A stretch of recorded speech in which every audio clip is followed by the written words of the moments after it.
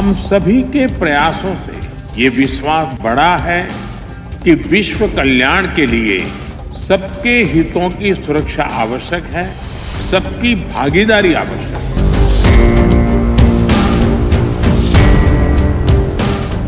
आज भारत ने इकोलॉजी और इकोनॉमी के उत्तम संतुलन का उदाहरण विश्व के सामने रखा है। इस फॉरम से एक और प्रो प्लेनेट इनिशिएटिव का आह्वान कर रहा green credit initiative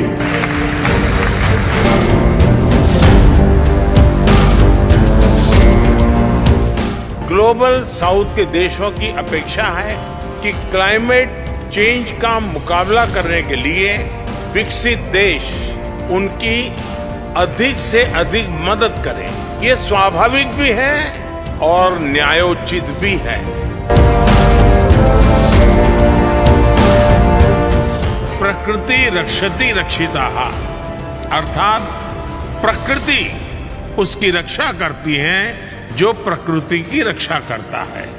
हमें नीतियों में, निर्णयों में ये सोचना होगा कि उससे पृथ्वी के हेल्थ कार्ड में ग्रीन क्रेडिट कैसे जुड़ेगा।